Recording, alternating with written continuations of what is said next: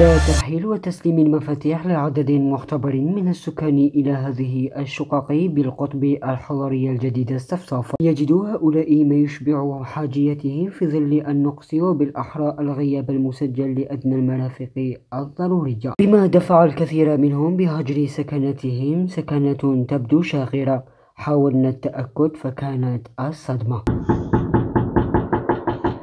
على كل حال مرحبا بكم في موقع 1300 مسكن عدل. نتمنى إحنا كنا متمنين إن شاء الله نلتقي بكم في ظروف أحسن من هذه ولكن للأسف كما راكم تشوفوا حنايا دينا استلمنا مفاتيح كان اللي استلمهم في نوفمبر كان اللي استلمهم في جونفي وللأسف الموقع يعني آه، راهو مازال خالي ما كاش اللي يسكن فيه السبب انعدام المرافق. الموقع 1300 مسكن ما فيه حتى مرفق لحد الآن.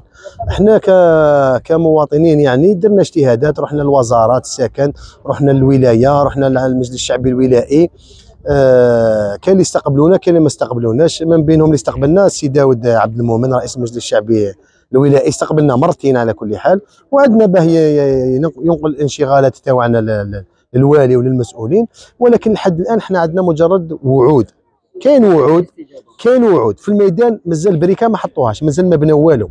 حنا بلا بلا مرافق ما نقدروش نسكنوا إحنا بلا ابتدائيات ومتوسطات بلا أمن بلا صحة بلا تغطية شبكة الهاتف النقال والإنترنت بلا transport موقع جبلي كما راكم تشوفوا. يعني أبسط وسائل دينا مفتاح جامد مجرد مفتاح.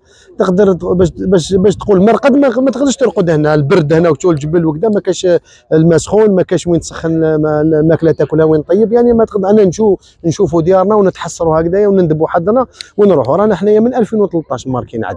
2013 يعني 11 سنة وحنا ننتظروا المشروع تأخر بحوالي أو متأخر بحوالي ثلاث سنين متأخر على موعد الإنجاز تاعو.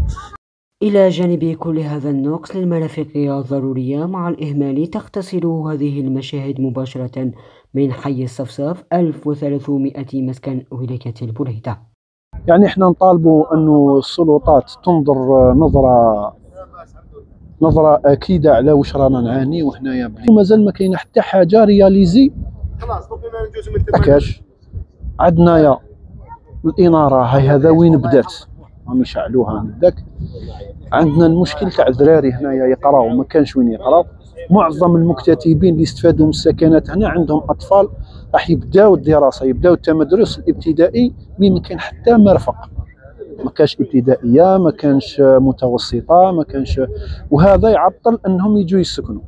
مشاعر مختلفة بين الفرحة والحزن تركنا هؤلاء المستفيدين وآمالهم متشددة بالكثير من الأمل تعيد إليهم فرحتهم انتظروها أكثر من أربعة سنوات. بحث الروحي لهذه المرافق التي من شأنها أن تظلل الصغاب وتسهيل من حياتهم اليومية.